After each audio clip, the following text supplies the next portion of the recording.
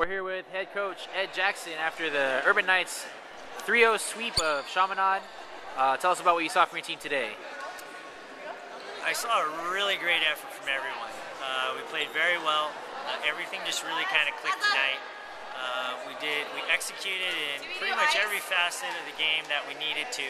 I thought we served well, got them out of system. They kind of struggled in serve receive. Uh, I thought we defended well, blocked well.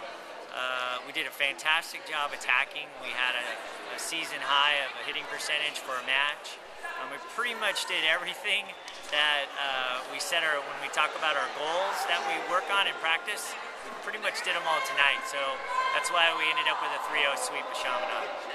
Um, someone who really impressed us on the stat sheet, Caitlin Boring came out, set a career high in kills. What did you see from her in the middle after, uh, you know, maybe being questionable last week after the ankle injury?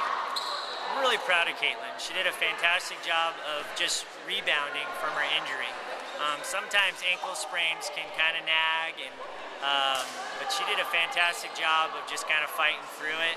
Uh, she, you know, basically injured, injured it on Friday and was back in practice on Monday, uh, full strength. So uh, she, and even though there was still some swelling and things like that that she was battling through, but I was really proud of her and her effort.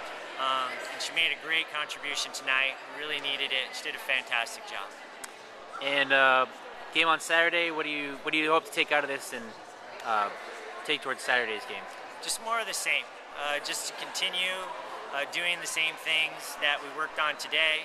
Uh, if we, you know, we just we passed really well. That really opened up our offense. It gave us a lot of attacking options. So if we can continue to serve tough, get them out of system, and pass well to get more offensive options, we're a really good volleyball team. We do a, we do a great job when we do those things. So we'll continue to work on that this week in practice, and uh, we're looking forward to Dominican here on Saturday. All right, thanks, Coach. You bet. All right, we're here with middle blocker Caitlin Boring after her career high night, 13 kills. Uh, what did you feel tonight? How did you feel coming into tonight's game? A little nervous at first because I sprained my ankle last game or before last game, but it was fine. Didn't hurt at all, and uh, played confident. and Everyone played well, so good. And uh, did you feel that you were kind of nearing some personal milestones, or how are you feeling as the game went on tonight? Felt better as the game went on. Um, just loosening up after getting some good hits out of the way and everything. And uh, what can you say about the team's effort tonight? 3-0 sweep of Chaminade. Um, what did you see out of your teammates out there?